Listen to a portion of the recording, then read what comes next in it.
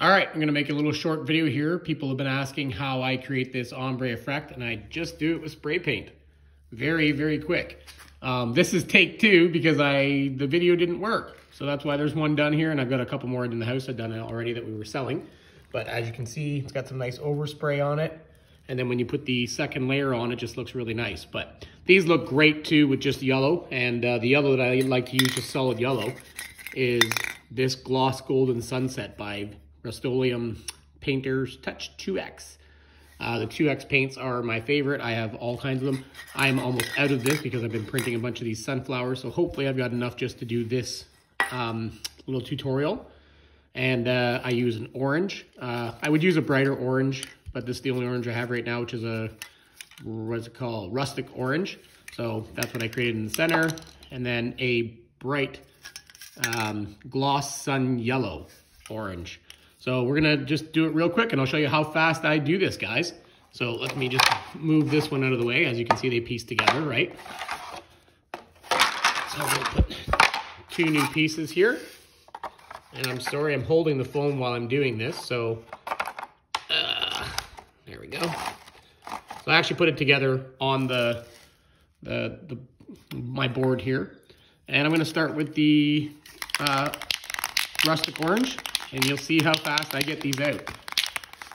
So uh, let me just uh, zoom the camera out a bit here. There we go. A little more. Sorry, guys. Okay. So I got to kind of put it over here and spray because I can watch what I'm doing. So I'm just going to go in a circular motion. I'm about 8 to 10 inches off the board. So here we go. I'm going to do the center. I'm going to overspray just a little bit off the, the edges a bit. So I've oversprayed down because the uh, the leaves petals come up, so I want to show a little bit of that.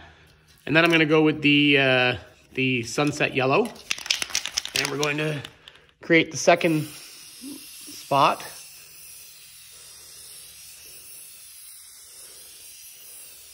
And I just go in a circular motion around, kind of overspraying into the orange a bit. There you go.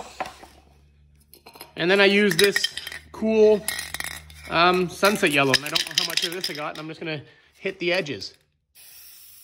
And I'm out of it. There we go.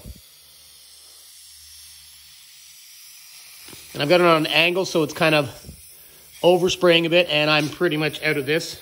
But uh, that wasn't the, the greatest overspray. It wasn't as good as this one here because the can is almost out. But that is the idea, guys. And then you just lay your uh, second layer over top and you are done.